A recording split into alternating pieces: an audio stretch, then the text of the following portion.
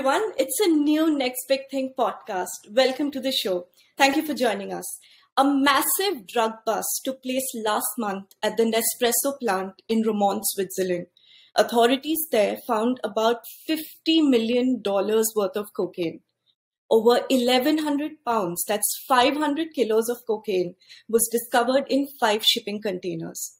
Now, according to reports, the shipment that carried Nespresso's container with the cocaine inside the Nespresso bags actually came from Brazil and passed through Antwerp ports in Belgium, which is said to be the mecca of drug trafficking and distribution to the whole of Europe. The port is now at the center of a huge intercontinental drug smuggling operation. To speak to us about this, we have with us Florence Angelici, who is the spokesperson of Customs Administration Belgium. Welcome to the show. How are you today? Fine, thank you. Okay, um, Florence, so um, we're going to look into the intricacies of the case, but first I'd like to learn more about you and your organization. What does the wing do? So we are the custom administration in Belgium. So we are here for uh, to control goods ah. uh, in the port of Antwerp or in other ports and airports. We are uh, the custom in Europe. They only control the European uh, borders because we don't have borders inside of Europe anymore. Okay. Okay. So um, you know, this is quite unprecedented. Now, again, like the events that happened in the Nespresso plant. So tell us what happened from your perspective and how is Antwerp involved? So um, it's not exactly the first time that, that this kind of fact happened that the, you find cocaine in a shipment that shouldn't you shouldn't find. Uh, so what we think that happened is that uh, the drug trafficker mm they couldn't catch the cocaine uh, on time, so they had to let it go and to arrive to the wrong destination. So what they do is that they use uh, perfectly legal transportation of, for example, bananas or wow. coffee. Uh, so goods coming from South America typically, mm-hmm. and they use those transportation and those containers, and they put inside of it they will put tra- cocaine. And but you have to have people at the port of, of arrival yeah. to get this cocaine from. So something went wrong with the drug traffickers, and they couldn't get this cocaine uh, on time. Wow. Um, so, I mean, according to a recent uh, UN report, now Belgium has surpassed Spain as the key entry point for cocaine into Europe. Now, that's responsible for more than a quarter of the continent's coke supply. Now, its biggest port, Antwerp, is the main gateway. Now, what led Antwerp to become the biggest gateway? We have uh, different reasons.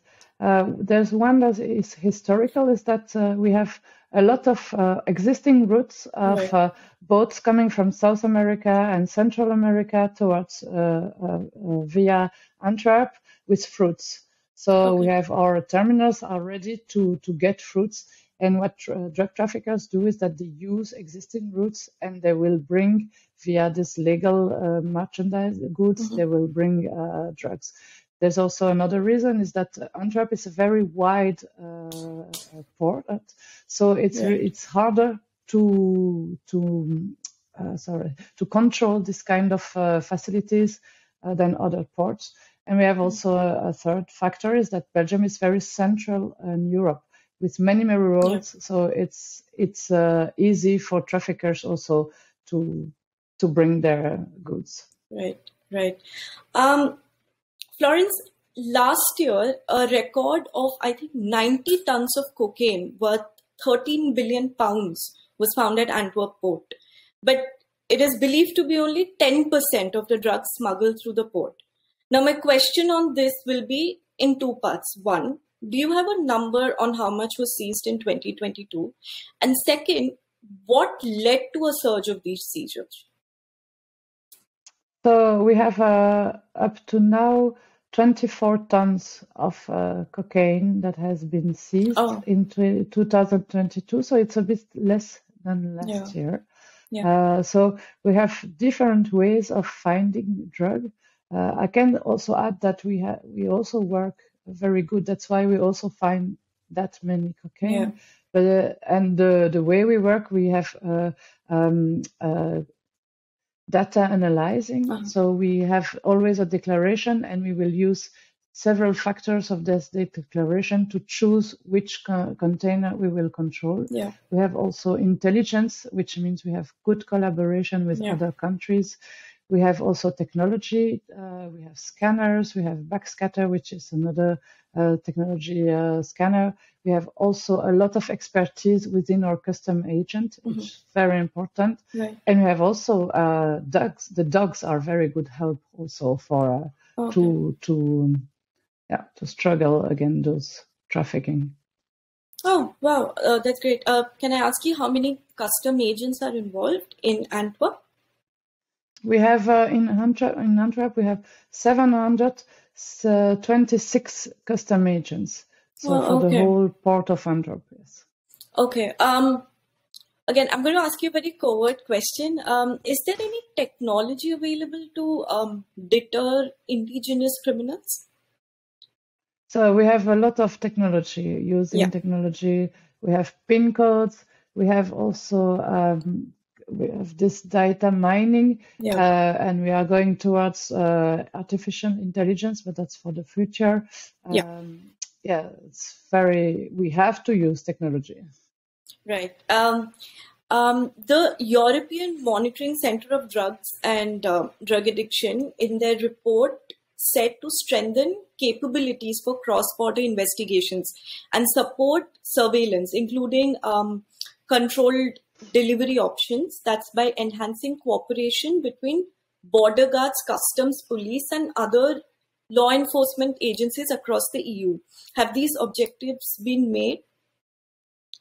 Sorry, I'm not sure I understand the question. Uh, no, no, that's fine. Uh, I wanted to say that uh, there's a body called the European Monitoring Center of D- Drugs and Drug Addiction, who basically, in their report last year, they had called for, um, you know, a collaboration between the border guards, customs, police, and other law enforcement agencies, which is across the uh, EU and also internationally. I just want to ask that have have this been met? Is there like a collaboration between all the forces? We, we collaborate a lot. We are, Belgium is a small country, so yeah. within Belgium we collaborate. We are custom administration, but we have good collaboration with police. We have also very good collaboration with the border countries. Yeah. We have the Netherlands and France, but also with the the countries in South America, Brazil, yeah. Colombia, Panama. We have to to exchange intelligence. Otherwise, we can't fight this alone. That's impossible. Right, right, right.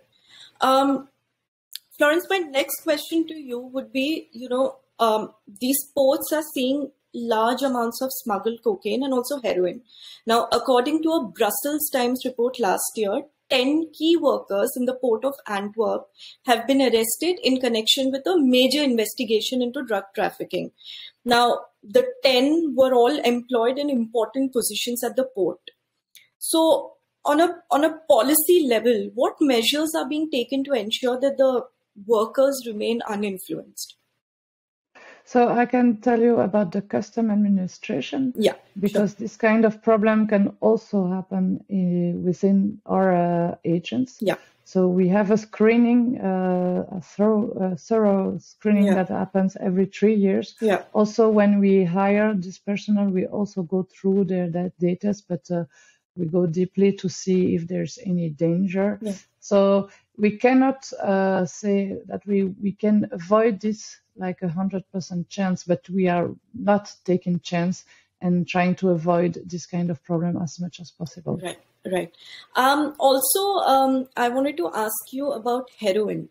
Um, you know, they say that about, um, I mean, a UN report said that 700 kgs of heroin and 80 kg of opium was seized in Afghanistan and Pakistan and they were destined for Antwerp.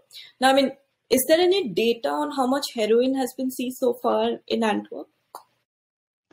I can look for it. I don't have it right now, okay, so I that's, should that's, go back to you. that's fine. That's fine. Um, now, but it's yeah, sorry, but it's sure. not. It's far from as important as uh, cocaine. Cocaine, yes, so, yes. Yeah, it's not. In, much less than the 90 tons we had last year. Right, right, absolutely. Um, Florence, do you think there's a need for more um, public health based approach to solving the drug problem rather than uh, relying on tough enforcement tactics? Yeah, well, we can know that it's important. So we have to fight against the trafficking, but yeah. maybe on consumption because we we we we have seizing more and more quantities. It means that more and more people are using those drugs. It remains something dangerous and yeah. healthy. So that's something, but uh, that's not really our uh, main business. Yeah. But that's also something important for Belgian authorities. For sure. Right. Right. But the drugs that is coming through Antwerp is not only for Belgium. It's going yeah, all over, spreading all over Europe. Yeah, yeah.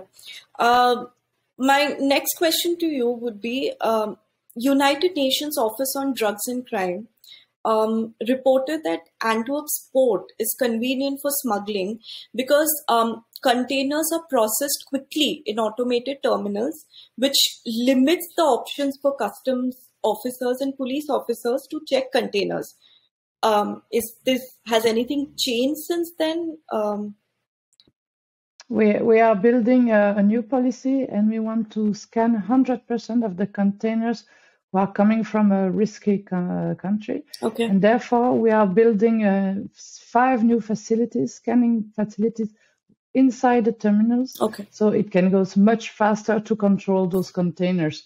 And also, we will have more agents yeah. in order to process these new scanners. Right, right. Now, as I mean, from a customs administration point of view, um, in in the 1980s, when um, the cocaine demand flourished in the U.S., now there were crackdowns on drug barons uh, who then went to seek new markets, and as a result, I think they focused on Antwerp. So what made Antwerp more attractive to them? Is it because of it's really please please um, um, yeah Antwerp is a historical um, road for those boats coming from South America. Yeah. So it's not they're not uh, targeting Antwerp. Yeah. They're target targeting a way to smuggle yeah. their their uh, cocaine, and Antwerp is very interesting for them. Yeah. But it's it's we are suffering from that, but Antwerp is a very interesting port and important port uh, and working very well and very dynamic. Yeah. So they're using this kind of dynamic, but that's why we have to be very careful and uh, to to watch this kind of criminality. Right. Um, you also mentioned risky countries. What are the risky countries?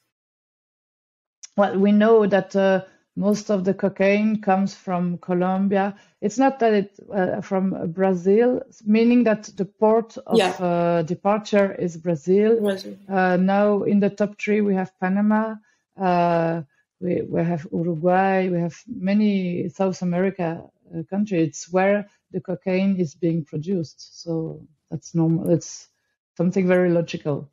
Right, right. Um, has the pandemic played any role uh, in the whole guarding of the port? Well, um, actually, we thought we would have less cocaine yeah. because maybe less demand because yeah. less parties. But we we've seen uh, a big amount of cocaine last year and in 2020, yeah. and each year breaking a new record, which is a sad record actually. So uh, there was no impact on the traffic. I think they even kind of tried more, thinking that maybe custom agent would work less, but it wasn't the case. We we were right. still there and uh, working to find this cocaine. Okay, okay. Uh, Florence, my final question to you would be: um, you know, the public prosecutors at the canton of Freiburg in Switzerland plan on handling the illegal import. That's the that includes the consumer protection scare against Nespresso. Um, will the Belgian government take any action against the company since the shipment passed through Antwerp? Would you know uh, about this? I can't answer about that. Uh, okay. Uh, okay. That's not uh, of our jurisdiction. As custom agent, uh, I, I, don't. You wouldn't that, uh, know about this. I don't have the answer. Sorry. No, no, that's absolutely fine. I mean, it's my job to ask difficult questions. Um, Well, I think I have everything that I need. And uh, thank you for listening to our conversation. Today I've been speaking with Florence Angelici. This is Swarna for Next Big Thing.